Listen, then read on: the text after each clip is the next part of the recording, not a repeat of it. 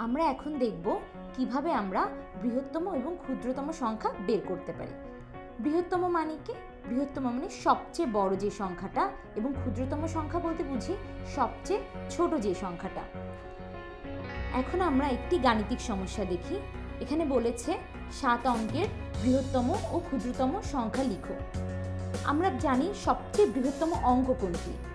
সবচেয়ে বৃহত্তম অঙ্ক নয়। সুতরাং সাত অঙ্কের সবচেয়ে বৃহত্তম সংখ্যা চেয়েছে, তাহলে আমরা যদি সাতটা নয় লিখে দিই,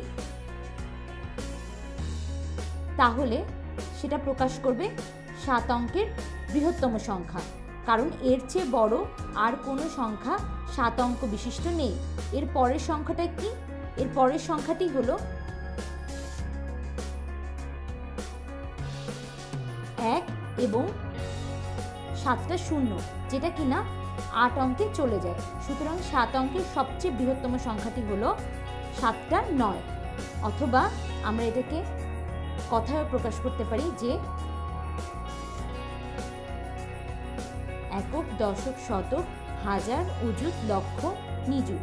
তার মানে নিরানব্বই লক্ষ, নিরানব্বই হাজার, নয়শো নিরানব্বই।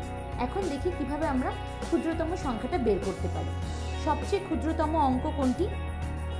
শূন্য। আমরা যদি সাতটা শূন্য দিই, তাহলে কি সাত অঙ্কের সবচেয়ে ক্ষুদ্রতম সংখ্যা হবে? না, কারণ কি সাতটা শূন্য যা দেওয়াও যা, একটা শূন্য দেওয়া একই কথা। সুতরাং আমাদেরকে দ্বিতীয় ক্ষুদ্রতম সংখ্যা, ক্ষুদ্রতম অঙ্কটা দেখতে হবে।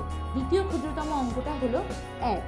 তাহলে আমরা সবচেয়ে ক্ষুদ্রতম সংখ্যা বের করতে পারি এভাবে যে প্রথমে একটা এক, এরপরে ছয়টা শূন্য। এই সংখ্যাটি সাত অঙ্কের ক্ষুদ্রতম সংখ্যা। এখন আমরা আরেকটি গাণিতিক সমস্যা দেখতে পাই। সাত অঙ্ক বিশিষ্ট কোন বৃহত্তম এবং ক্ষুদ্রতম সংখ্যার প্রথমে সাত এবং শেষে ছয় আছে?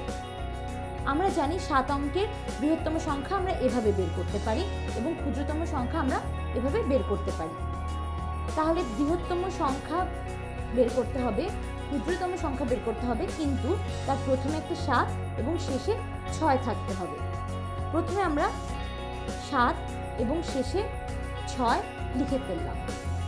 এখন বলেছে কোন বৃহত্তম সংখ্যার প্রথমে সাত এবং শেষে ছয় আছে। তাহলে মাঝে আমরা সবচেয়ে বৃহত্তম অঙ্ক যেটা নয়, পাঁচটা নয় যদি লিখে দিই, তাহলে আমরা প্রথমে সাত এবং শেষে ছয় সহ সবচেয়ে বৃহত্তম সাত অঙ্ক বিশিষ্ট সংখ্যাটা পেয়ে যাই। সাত, নয় নয় নয় নয় নয়, ছয়। এখন আমরা দেখি ক্ষুদ্রতম সংখ্যা কোনটার প্রথমে সাত এবং শেষে ছয় আছে। প্রথমে আমরা একইভাবে সাত এবং ছয় লিখে ফেলি এবং সবচেয়ে ক্ষুদ্রতম অঙ্কটা হলো শূন্য। তাহলে মাঝে আমরা পাঁচটা শূন্য লিখে দিতে পারি। এই সংখ্যাটি ক্ষুদ্রতম সংখ্যার সাত অঙ্কের সবচেয়ে ক্ষুদ্রতম সংখ্যা, যেটা প্রথমে সাত এবং শেষে ছয় আছে। তাহলে আমরা এখান থেকে শিখলাম যে কোনো নির্দিষ্ট অঙ্ক বিশিষ্ট সবচেয়ে বৃহত্তম এবং ক্ষুদ্রতম সংখ্যা আমরা কীভাবে নির্ণয় করতে